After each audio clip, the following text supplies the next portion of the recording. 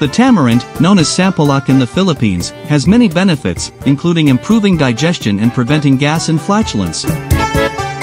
Before we go any further, please remember to subscribe to our channels.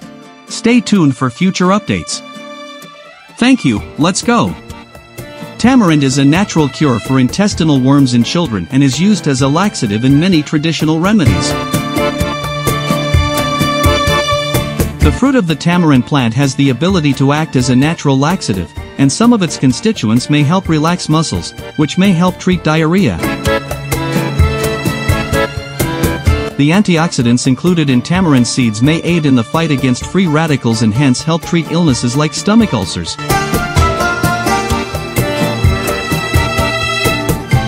Tamarind is used to treat stomach issues, liver and gallbladder issues, and constipation. Additionally, fever and colds are treated with it.